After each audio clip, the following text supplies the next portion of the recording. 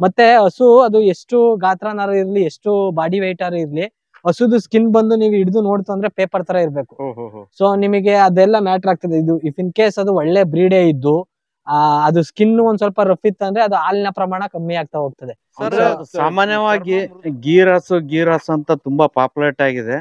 ಹಂಗಾಗಿ ಸುಮಾರು ಜನ ರೈತರು ಗೀರ್ ಹಸುನ ತರ್ಬೇಕು ಸಾಕ್ಬೇಕಂತ ಆ ಕೆಲವೊಂದ್ ಕಡೆ ಹೋಗಿ ತುಂಬಾ ದುಡ್ಡನ್ನ ಖರ್ಚು ಮಾಡ್ತಾರೆ ಒಳ್ಳೆ ಹಸುಗಳು ಸಿಗೋದಿಲ್ಲ. ಹಾಗಾಗಿ ನಿಮ್ ಪ್ರಕಾರ ಯಾವ ತರ ಹಸುಗಳನ್ನ ಚಾಯ್ಸ್ ಮಾಡ್ಕೋಬೇಕು ಏನೇನ್ ಲಕ್ಷಣಗಳು ನೋಡ್ಬೇಕು. ಅದ್ರ ಬಗ್ಗೆ ಸ್ವಲ್ಪ ಮಾಹಿತಿ ಹೇಳ್ರಿ. ಸರ್ ಮೊದ್ಲು ಹಸು ಅಂತ ಅಂದ್ರೆ ಫಸ್ಟ್ ಕಾಮ್ ಇರ್ಬೇಕು ಒಂದು. ನಾವು ಕ್ವಾಲಿಟಿ ನೋಡೋದಕ್ಕಿಂತ ಮುಂಚೆ ಅದು ಯಾವ್ದೇ ಆಗ್ಲಿ ಗಿರ್ ಆಗ್ಲಿ ಮತ್ತೊಂದಾಗ್ಲಿ ಯಾವ ಹಸು ಆಗ್ಲಿ ಅದು ನಮಗೆ ಸ್ಪಂದಿಸ್ಬೇಕು. ನಮಗೆ. ಯಾವ್ದೇ ತರದಲ್ಲಿ ಹಾನಿ ಮಾಡಬಾರ್ದು. ಈಗ ಫಸ್ಟ್ ಫಸ್ಟ್ ಹಸು ಬ್ರೀಡಿಂಗ್ ಮಾಡೋ ಅಂತವ್ರೆಲ್ಲ ಇರ್ತಾರೆ. ಅವರಿಗೆ ಫಸ್ಟ್ ಹಸು ಏನಾದ್ರೂ ಹಾನಿ ಮಾಡುತ್ತೆ ಅದು ನಮಗೆ ಏನು ಇದಾಗಿ ವರ್ಕ್ ಏನು ಕೆಲಸ ಮಾಡುತ್ತೆ ಅಂತ ಅಂದ್ರೆ ಯಾರು ಇಷ್ಟಪಡಲ್ಲ. First impression is best impression ಅಂತ ಹೇಳ್ತಾರೆ. ಈಗ ಹಸು ನಮ್ ನಾವು ಅಷ್ಟಕ್ಕೆ ಟ್ರೀಟ್ ಮಾಡಿದ ಪ್ರಕಾರ ಅದು ನಮಗೆ ಪ್ರೀತಿ ತೋರ್ಸಿದ್ರೆ ಅವಾಗ ಹಸು ಸಾಕೋರಿಗೆ ಏನು ಇದಿರ್ತದೆ. ಒಂದು ಖುಷಿ ಬರುತ್ತೆ. ಸೊ ಹಾಗಾಗಿ ಹಸು ಮೊದ್ಲು ನೀವು ಯಾವುದೇ ಬ್ರೀಡ್ ನೋಡಿ ಹಸು ನಿಮಗೆ ಕಾಮ್ ಆಗಿದೆಯಾ? ತುಂಬಾ ಸಾಫ್ಟ್ ಇದೆಯಾ ಅಂತ ನೋಡಿ. ಅದಾದ ನಂತರ ಅದ್ರದ್ದು ಬ್ರೀಡ್ ನೋಡಿ. ಸೊ ಬ್ರೀಡ್ ನೋಡೋದು ಹೇಗೆ ಅಂದ್ರೆ ಈ ಗಿರ್ವಸು ಅಂತ ಅಂದ್ರೆ ನಿಮಗೆ ಹಂಪ್ ಇರ್ಬೇಕು. ಈ ಹಂಪು ಬಂದು ಡೈರೆಕ್ಟ್ ಆಗಿ ಫ್ರಂಟ್ ಆಗಿ ಇಂಟರ್ಸೆಕ್ಟ್ ಆಗಿರ್ಬೇಕು. ಸೊ ಹ್ಮ್ ಸೊ ಏನಪ್ಪಾ ಇನ್ನೊಂದೇನಪ್ಪಾ ಅಂದ್ರೆ ಇದು ಹಿಂದೆಗಡೆ ಇದು ಫ್ಲಾಟ್ ಬರುತ್ತೆ. ಫ್ಲಾಟ್ ಬಂದ್ರೆ ಏನಾಗುತ್ತೆ ಅಂದ್ರೆ ಇದು ಅಡರ್ ಕ್ವಾಲಿಟಿ ತುಂಬಾ ಚೆನ್ನಾಗಿರ್ತದೆ. ಇದು ಫ್ಲಾಟ್ ಇತ್ತು ಇದು ವಕ್ರ ಈ ಚೂಪು ಈ ತರ ಎಲ್ಲ ಇತ್ತು ಅಂದ್ರೆ ಅದು ಕೆಚ್ಲು ಫಾರ್ಮೇಶನ್ ಚೆನ್ನಾಗಿರಲ್ಲ. ಸೊ ಇದು ನೀಟಾಗಿ ಹಿಂದೆಗಡೆ ಫ್ಲಾಟ್ ಇತ್ತು ಅಂದ್ರೆ ಅದ್ರದ್ದು ಕೆಸ್ಲು ನೈಂಟಿ ಪರ್ಸೆಂಟ್ ಕೆಸ್ಲು ಬಂದು ನಿಮಗೆ ಒಳ್ಳೆ ಫಾರ್ಮೇಶನ್ ಅಲ್ಲಿ ಕೆಸ್ಲು ಇರ್ತದೆ. ಸೊ ಅದೆಲ್ಲ ಬಂದು ನಿಮಗೆ ಮಿಲ್ಕ್ ಬರುವಂತದ್ದು ಇದಿರ್ತದೆ ಚಾನ್ಸಸ್ ಜಾಸ್ತಿ ಇರುತ್ತೆ. ಮತ್ತೆ ಹಸು ಅದು ಎಷ್ಟು ಗಾತ್ರನಾರು ಇರ್ಲಿ ಎಷ್ಟು ಬಾಡಿ ವೆಯ್ಟ್ ಆರು ಇರ್ಲಿ ಹಸುದು ಸ್ಕಿನ್ ಬಂದು ನೀವು ಹಿಡಿದು ನೋಡ್ತು ಅಂದ್ರೆ ಪೇಪರ್ ತರ ಇರ್ಬೇಕು. ಸೊ ನಿಮಗೆ ಅದೆಲ್ಲ ಮ್ಯಾಟರ್ ಆಗ್ತದೆ. ಇದು ಇಫ್ ಇನ್ ಕೇಸ್ ಅದು ಒಳ್ಳೆ ಬ್ರೀಡೇ ಇದ್ದು ಅದು ಸ್ಕಿನ್ ಒಂದ್ ಸ್ವಲ್ಪ ರಫ್ ಇತ್ತು ಅಂದ್ರೆ ಅದು ಹಾಲಿನ ಪ್ರಮಾಣ ಕಮ್ಮಿ ಆಗ್ತಾ ಹೋಗ್ತದೆ. ಅಂದ್ರೆ ಚರ್ಮ ಮೃದು ಚರ್ಮ ಮೃದುವಾಗಿರ್ಬೇಕು. ಒಂದು ಅದು ಹಾಲ್ ಬರೋದಕ್ಕೆ ತುಂಬಾ ಇದಾಗಿರ್ತದೆ. ಈ ತರ ಮೃದು ಇರೋ ಚರ್ಮದವೇ ಹಸುಗಳು ತುಂಬಾ ಹಾಲ್ ಬರ್ತಾ ಹಾಲ್ ಜಾಸ್ತಿ ಕೊಡ್ತವೆ. ಸೊ ನೀವು ಬ್ರೀಡು ನೋಡ್ಬೇಕು. ಈ ತರ ಒಂದಷ್ಟು ಅದ್ರ ಬಾಡಿದು ಸ್ಟ್ರಕ್ಚರ್ ಲೈನ್ ಆಗಿರುತ್ತೆ ಅದೆಲ್ಲ ಕೂಡ ನೋಡ್ಬೇಕು. ಮತ್ತೆ ಫಸ್ಟ್ ಇನ್ನೊಂದ್ ಏನಪ್ಪಾ ಅಂದ್ರೆ ಹಸು ಕಾಮ್ ಇರ್ಬೇಕು ಸರ್. ಯಾರೇ ಆಗ್ಲಿ ಅದು ಇನ್ ಕೇಸ್ ಈಗ ಒಬ್ರೊಬ್ರು ಬರ್ತಾರೆ. ಅವ್ರು ನಾಲ್ಕ್ ಲೀಟರ್ ಐದ್ ಲೀಟರ್ ಕೊಡುತ್ತೆ ಅನ್ನೋ ಇಂಟೆನ್ಷನ್ ಹಸು ತಗೋತಾರೆ. ಒಂದ್ ಲೀಟರ್ ಕಮ್ಮಿನೇ ಕೊಡ್ಲಿ ಅದು ಕಾಮ್ ಆಗಿರ್ಲಿ ಫಸ್ಟ್ ಸೊ ಅವರಿಗೆ ಎಕ್ಸ್ಪೀರಿಯನ್ಸ್ ಆಗ್ತಾ ಆಗ್ತಾ ಅವರು ಇದ್ರಲ್ಲೇ ಒಂದ್ ಸ್ವಲ್ಪ ಏನಾದ್ರು ವ್ಯಾಲ್ಯೂ ಅಡಿಷನ್ ಮಾಡ್ಬೇಕು ಅಂತಂದ್ರೆ ಅವರು ನೋಡ್ತಾ ನೋಡ್ತಾ ಗೊತ್ತಾಗ್ತಾರೆ. ಸ್ಟಾರ್ಟಿಂಗ್ ಅಲ್ಲಿ ನೀವು ತಗೋಬೇಕಾದ್ರೆ ತುಂಬಾ ಕಾಮ್ ಇರುವಂತ ಅಂತ ಹಸುಗಳನ್ನೇ ಚಾಯ್ಸ್ ಮಾಡಿ ತಗೊಳ್ಳಿ. ಅದಾದ ನಂತರ ನಿಮಗೆ ಬ್ರೀಡ್ ಒಂದು ಒಂದ್ ಒಂದ್ ಒಂದೊಂದಾಗಿ ಒಂದೊಂದಾಗಿ ತಿಳಿತಾ ಹೋಗ್ತಾ ಹೋಗ್ತಾರೆ ಈ ತರ ಇದೆ ಸರ್. ಸರ್ ಇದು ನಮ್ದು ಅಡಿಕೆ ತೋಟ. ಎಷ್ಟ್ ಎಕರೆ ಇದೆ ಸರ್? ಟೋಟಲ್ ಆಗಿ ಸರ್ ಇಲ್ಲಿ ಫಾರ್ಮ್ ಹತ್ರ ನಮ್ಗೆ ಒಂದು ಎರಡೂವರೆ ಎಕರೆ ಇದೆ. ಎರಡೂವರೆ ಎಕರೆಲಿ ಎರಡ್ ಎಕರೆ ಒಂದ್ ಅರ್ಧ ಎಕರೆ ಫಾರ್ಮಿಗೆ ಮತ್ತೆ ಇದಕ್ಕೆ ಅಂತಾನೆ ಯೂಸ್ ಮಾಡ್ಕೊಂಡಿದೀವಿ. ಇದು ಬಂದು ನಿಮಗೆ ಪ್ಲೈನ್ ಅಡಿಕೆ ಇದೆ. ಅಲ್ಲೆಲ್ಲ ತೆಂಗು ಮಧ್ಯದಲ್ಲಿ ಅಡಿಕೆನ ಇಟ್ಕೊಂಡಿದೀವಿ. ಇದು ನಿಮಗೆ ನಾಲ್ಕೂವರೆ ವರ್ಷದ ಗಿಡ. ಏನ್ ಅಂತರದಲ್ಲಿ ಹಾಕಿರಿ ಸರ್ ಸರ್ ಇದು ಹಿಂಗ್ ಒಂದು ನೈನ್ ಬೈ ನೈನ್ ಅಲ್ಲಿ ಹಾಕಿದೀವಿ. ಆ ನಮ್ಮ ಇನ್ನು ಇದು ಈ ತರ ಏನು ಕೆಳಗಡೆ ಇರ್ತದೆ.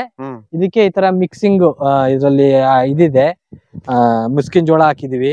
ಮತ್ತೆ ಒಂದ್ ಸ್ವಲ್ಪ ರಾಗಿ ಪಚ್ಚೆ ಇದನ್ನೆಲ್ಲ ಹಾಕಿ ನಮ್ಮ ಹಸುಗಳಿಗೆ ಮಿ- ಮಿಶ್ರಣ ಮಾಡಿ ಕಟಿಂಗ್ ಮಿಷಿನ್ ಅಲ್ಲಿ ಕಟ್ ಮಾಡಿಸಿ ಡೈರೆಕ್ಟ್ ಆಗಿ ಹಸುಗಳಿಗೆ ಇದು ಮಾಡ್ತೀವಿ. ಈಗ ಅಡಿಕೆ ತೋಟದಲ್ಲೇ ನಿಮ್ಗೆ ಹಸುಗಳಿಗೆ ಏನೇನ್ ಬೇಕು ಎಲ್ಲಾ ಮೇವನ್ನು ಬೆಳ್ಕೊಳ್ತೀರಿ ಸರ್? ಅಯ್ಯೋ ಅಡಿಕೆ ತೋಟದಲ್ಲೂ ಬೆಳಕತ್ತೀವಿ ಅದಕ್ಕೆ ಅಂತಾನೆ ಒಂದ್ ಎರಡ್ ಎಕರೆ ಸಪ್ರೇಟ್ ಆಗಿ ಇಟ್ಕೊಂಡಿದೀವಿ. ಪ್ಲೇನ್ ಲ್ಯಾಂಡ್ ಯಾವ್ದೇ ತರದ ತೋಟ ಇಲ್ಲದೆ ಇರೋದು. ಇದ್ರಲ್ಲಿ ಏನಪ್ಪಾ ಅಂತಂದ್ರೆ ಒಂದು ಒಂದು ಬಾರಿ ಇದಕ್ಕೂ ಕೂಡ ಹಾಕೊಂಡು. ನಮ್ಮ ಹಸುಗಳಿಗೆ ಇದ್ ಮಾಡ್ಕೊತೀವಿ ಹಾಕೊಳ್ತೀವಿ. ಮತ್ತೆ ಇದಕ್ಕೆಲ್ಲ ನಾವು ಅಡಿಕೆ ತೋಟಕ್ಕೆಲ್ಲ ಒಂದೇ ಒಂದು ಕೆಮಿಕಲ್ಸ್ ಯೂಸ್ ಮಾಡಲ್ಲ. ನಮ್ಮ ಹಸುವಿನಿಂದ ಏನ್ ಬರ್ತದೆ ಜೀವಾಮೃತ ಮಾಡಿ ಜೀವಾಮೃತ ಕೊಡ್ತೀವಿ. ಮತ್ತೆ ನಮಗೆ ಎಷ್ಟು ಬೇಕೋ ಅಷ್ಟು ವರ್ಮಿ ಕಾಂಪೋಸ್ಟ್ ಈಗ ನಮ್ಮ ಹತ್ರ ಒಂದ್ ಹತ್ತು ಹಸು ಇದ್ದಾಗ ನಮ್ದೇ ಇದಕ್ಕೆ ಯೂಸ್ ಆಗ್ತಿತ್ತು. ಆ ವರ್ಮಿ ಕಾಂಪೋಸ್ಟ್ನ ನಮ್ಮ ತೋಟಕ್ಕೆ ನಾವೇನೆ ಮಾಡ್ಕೊಂಡು ಉಪಯೋಗಿಸ್ಕೋತೀವಿ. ಸೊ ಮುಂದೆ ಏನಾದ್ರೂ ಜಾಸ್ತಿ ಆಗ್ತಿದೆ ವರ್ಮಿ ಕಾಂಪೋಸ್ಟ್ ಅದು ಬೇಕು ಅನ್ನೋ ರೈತರುಗಳಿಗೆ ವರ್ಮಿ ಕಾಂಪೋಸ್ಟ್ ದೇಸಿ ಹಸುವಿನಲ್ಲಿ ಮಾಡಿರೋ ವರ್ಮಿ ಕಾಂಪೋಸ್ಟ್ನ ಕೊಡೋಣ ಅಂತ ಅನ್ಕೊಂಡಿದ್ವಿ. ಈಗ ತಕ್ಷಣಕ್ಕೆ ನಮ್ಮ ತೋಟದಲ್ಲಿ ವರ್ಮಿ ಕಾಂಪೋಸ್ಟ್ ನಾವು ಯೂಸ್ ಮಾಡ್ಕೊಂಡು ಇದು ನಮ್ಮ ಅಡಿಕೆ ಗಿಡಗಳಿಗೆ ನಾವು ಯೂಸ್. ಸಾಧ್ಯವಾದಷ್ಟು ತಯಾರು ಮಾಡ್ರಿ ನಿಮ್ಗೆ ಎಷ್ಟು ಬೇಕೋ ಅಷ್ಟು ರೆಡಿ ಮಾಡ್ಕೊಳ್ರಿ. ಮತ್ತೆ ವರ್ಮಿ ಕಾಂಪೋಸ್ಟ್ಗೆ ತುಂಬಾ ಬೇಡಿಕೆ ಇದೆ. ಅದ್ರ ಅದನ್ನ ಬಳಸಿದವ್ರಿಗೂ ಕೂಡ ತುಂಬಾ ಅನುಕೂಲ ಇದೆ. ನಿಜ ಸರ್ ನೀವು ವರ್ಮಿ ಕಾಂಪೋಸ್ಟ್ ಕೊಡೋದಲ್ದೆ ಭೂಮಿನ ಬೇರೆಯವ್ರ ಭೂಮಿನೂ ಕೂಡ ಸಾವಯವ ಕನ್ವರ್ಟ್ ಮಾಡಿದಂಗೆ ಆಗ್ತದೆ. ಅದು ಒಂದ್ ನಮ್ದು ಇಂಟೆನ್ಷನ್ ಇದೆ ಸರ್. ಈಗ ದೇಸಿ ಹಸುಗಳಿಗೆ ದೇಸಿ ಹಸುಗಳಿಗೆ ನಾವು ಒಂದ್ ಏನ್ ಮಾಡ್ತಿದೀವಿ ಅಂತ ಅಂದ್ರೆ ನಾವು ದೇಸಿ ಹಸುಗಳು ಸಾಕ್ತಿದೀವಿ. ಅಕ್ಕಪಕ್ಕದ ರೈತರುಗಳು ದೇಶಗಳು ಹಸುಗಳು ಬಗ್ಗೆ ಮಾಹಿತಿ ಬೇಕು ಅಂತಂದ್ರೆ ಅವರಿಗೆ ತಿಂಗಳಿನ ಕೊನೆ ಭಾನುವಾರ ಬಂದು ನಮ್ಮ ಅವರಿಗೆ ಏನೇನು ಅನುಕೂಲ ಮಾಡಿಕೊಡ್ಬೇಕು ಅದನ್ನೆಲ್ಲ ಮಾಡಿಕೊಟ್ಟು ಕೂಡ ಅವರಿಗೆ ಏನು ಅವರಿಂದ ಎಕ್ಸ್ಪೆಕ್ಟೇಷನ್ ಇಟ್ಕೊಳ್ಳದೆ ಆ ದೇಶ ಬಗ್ಗೆ ತರಬೇತಿ ಎಲ್ಲ ಕೊಡ್ತೀವಿ. ಅಂದ್ರೆ ನಾವು ನಿಮಗೆ ಏನು ಗೊತ್ತಿದೆ ಅದನ್ನ ಅವರಿಗೆ ನಾವು ತಿಳಿಸುವಂತ ಪ್ರಯತ್ನ ಮಾಡ್ತೀವಿ. ಸೊ ದೇಶ ಹೆಸರು ಹೆಚ್ಚಾಗ್ತು ಅಂದ್ರೆ ಅವರಿಗೆ ಕೆಮಿಕಲ್ ಫಾರ್ಮಿಂಗ್ ಬಗ್ಗೆ ಇಂಟ್ರೆಸ್ಟ್ ಕಮ್ಮಿ ಆಗ್ತದೆ. ಅವಾಗಲ್ಲಾದ್ರೂ ಕೆಮಿಕಲ್ ಹಾಕೋದನ್ನ ನಿಲ್ಲಿಸ್ತಾರೆ ಅನ್ನೋದೊಂದು ಇಂಟೆನ್ಷನ್ ಅಲ್ಲಿ ದೇಶ ಹಸುಗಳನ್ನ ಎಲ್ಲರೂ ಸಾಕಿ ದೇಶ ಹಸುಗಳ ಬಗ್ಗೆ ಒಂದ್ ಸ್ವಲ್ಪ ತಿಳ್ಕೊಳ್ಳಿ ಅದಕ್ಕೆ ಆದ ಪ್ರಾಮುಖ್ಯತೆ ಇದೆ. ಸೊ ಹಂಗಾಗಿ ನೀವು ಈ ಇದನ್ನೆಲ್ಲ ಬಿಟ್ಟು ಈ ಕೆಮಿಕಲ್ ಫಾರ್ಮಿಂಗ್ ಎಲ್ಲ ಮಾಡೋದ್ ಬಿಟ್ಟು ಕಂಪ್ಲೀಟ್ ಸಾವಯವಗೆ ಹೋಗ್ಬಹುದು ದೇಸಿ ಹಸುಗಳಿದ್ರೆ. ಸೊ ಹಂಗಾಗಿ ದೇಸಿ ಹಸುಗಳ ಬಗ್ಗೆ ನಾವು ತಿಳಿಸ್ಕೊಡೋ ಅಂತ ಪ್ರಯತ್ನ ಮಾಡ್ತಿದ್ವಿ. ಅದೊಂದು ಒಳ್ಳೆ ಇದನ್ನ ಇಟ್ಕೊಂಡು ಕಾಳಜಿ ಇಟ್ಕೊಂಡು.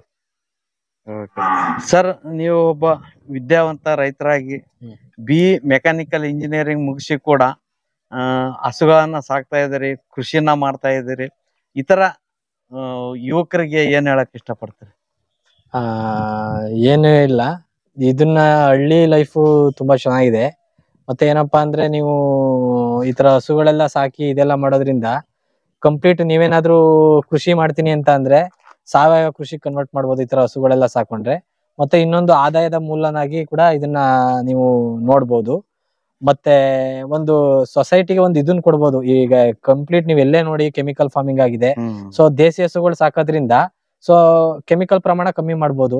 ಸೊ ನಿಮ್ಮಿಂದ ನೀವೊಂದು ಸಾಕಿದ್ರೆ ಮತ್ತೆ ನಿಮ್ಮ ಅಕ್ಕಪಕ್ಕವರಿಗೆ ಒಂದು ಸ್ವಲ್ಪ ಮಾಹಿತಿಗಳೆಲ್ಲ ಹೋಗಿ ಸೊ ಅವರು ಕೂಡ ಸಾಕೋದ್ರಲ್ಲಿ ಮುಂದಿನ ಆಸಕ್ತಿ ವಹಿಸ್ತಾರೆ ಅನ್ನೋದನ್ನ ಹೇಳೋದಕ್ಕೆ ಇಷ್ಟಪಡ್ತೀನಿ ಸರ್. ಓಕೆ ಸರ್ ತುಂಬಾ ತುಂಬಾ ಧನ್ಯವಾದ ಥ್ಯಾಂಕ್ ಯು ಸರ್ ನೋಡಿದ್ರಲ್ಲ ರೈತ ಬಾಂಧವರೇ ಬಿ ಮೆಕ್ಯಾನಿಕಲ್ ಇಂಜಿನಿಯರಿಂಗ್ ವಿದ್ಯಾಭ್ಯಾಸ ಮುಗಿಸಿ ಕೂಡ ಕೃಷಿ ಮೇಲೆ ಆಸಕ್ತಿಯಿಂದ ತೋಟನ ನಿರ್ವಹಣೆ ಮಾಡ್ತಾ ಇದ್ದಾರೆ. ಜೊತೆಗೆ ವಿಶೇಷವಾಗಿ ಗುಜರಾತ್ನ ಗೀರ್ ತಳಿಯ ಹಸುಗಳನ್ನು ಸಾಕಿದ್ದಾರೆ. ಅದರಿಂದ ತೋಟಕ್ಕೆ ಉತ್ತಮವಾದಂತ ಗೊಬ್ಬರ ಸಿಗ್ತದೆ. ಜೊತೆಗೆ ಅದರ ಹಾಲಿನಿಂದ ಹಲವಾರು ತರದ ಉತ್ಪನ್ನಗಳನ್ನ ತಯಾರು ಮಾಡಿ ಸ್ವಂತ ಮಾರ್ಕೆಟಿಂಗ್ ಮಾಡ್ತಾ ಇದ್ದಾರೆ. ಅದಕ್ಕೆ ಒಂದು ವಿಶೇಷವಾದಂತ ಬ್ರ್ಯಾಂಡಿಂಗ್ ಅನ್ನ ಮಾಡಿದ್ದಾರೆ ಯಾವುದೇ ವಸ್ತುವನ್ನಾಗಲಿ ಅದನ್ನ ಮಾರಾಟ ಮಾಡ್ಬೇಕಂದ್ರೆ ಆಕರ್ಷಣೆ ಕೂಡ ತುಂಬಾ ಮುಖ್ಯ. ಇವರು ಓದಿದ ವಿದ್ಯೆಯನ್ನ ಇಲ್ಲಿ ಪ್ರಯೋಗ ಮಾಡ್ತಾ ಇದ್ದಾರೆ. ಅದರ, ಅದರಿಂದ ಸಕ್ಸಸ್ ಕೂಡ ಪಡಿತಾ ಇದ್ದಾರೆ. ಇದೇ ರೀತಿ ಇನ್ನೂ ಹೆಚ್ಚು ಹೆಚ್ಚು ಇವ್ರ ಹತ್ರ ಗೀರಸ್ತುಗಳು ಅಭಿವೃದ್ಧಿ ಆಗ್ಲಿ, ಇವರಿಂದ ಇತರ ರೈತರಿಗೂ ಅನುಕೂಲ ಆಗ್ಲಿ ಅಂತ ಹೇಳ್ತಾ ಸರ್ ನಂಬರ್ ಅನ್ನ ಡಿಸ್ಪ್ಲೇನಲ್ಲೂ ಮತ್ತು ಡಿಸ್ಕ್ರಿಪ್ಷನ್ ಬಾಕ್ಸ್ ಎಲ್ಲ ಹಾಕಿರ್ತೀನಿ. ಹೆಚ್ಚಿನ ಮಾಹಿತಿಗಾಗಿ ಸಂಪರ್ಕ ಮಾಡಬಹುದು ಮತ್ತು ಈ ಗೀರ್ ಹಸುಗಳ ಬಗ್ಗೆ ಮಾಹಿತಿಗಾಗಿಯೂ ಸಂಪರ್ಕ ಮಾಡಬಹುದು ಮುಂದಿನ ದಿನಗಳಲ್ಲಿ ರೈತರಿಗೆ ಉಚಿತವಾಗಿ ಒಂದು ದಿನದ ತರಬೇತಿಯನ್ನ ಕೊಡ್ತೀವಿ. ಈ ಹಸುಗಳು ಯಾವ ರೀತಿ ಪಾಲನೆ ಮಾಡ್ಬೇಕು, ಇದರಿಂದ ಪ್ರಾಡಕ್ಟ್ ಯಾವ ರೀತಿ ತಯಾರು ಮಾಡ್ಬೇಕಂತೇಳಿ ಉಚಿತವಾಗಿ ಕೊಡ್ತೀವಿ. ಜೊತೆಗೆ ಇರ್ಲಿಕ್ಕೆ ಊಟಕ್ಕೆ ವ್ಯವಸ್ಥೆ ಕೂಡ ಮಾಡ್ತೀವಿ ಅಂತ ಹೇಳಿದ್ರು.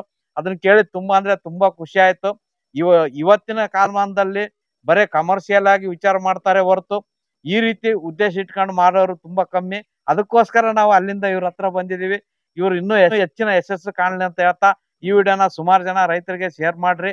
ಎಲ್ರಿಗೂ ಇವ್ರು ಮಾಡ್ತಿರೋ ಕೃಷಿ ಪದ್ಧತಿ ಮಾಹಿತಿ ಸಿಗ್ಲಿ ಮತ್ತು ನನ್ನ ಚಾನಲ್ನ ಹೊಸದಾಗಿ ನೋಡ್ತಾ ಇರೋರು ನನ್ನ ಚಾನಲ್ನ ಸಬ್ಸ್ಕ್ರೈಬ್ ಮಾಡ್ರಿ ಅಂತ ಹೇಳ್ತಾ ಮುಂದಿನ ವಿಡಿಯೋದಲ್ಲಿ ಇನ್ನೂ ಹೆಚ್ಚಿನ ಮಾಹಿತಿಯೊಂದಿಗೆ ನಿಮ್ಮ ಮುಂದೆ ಬರ್ತೇನೆ.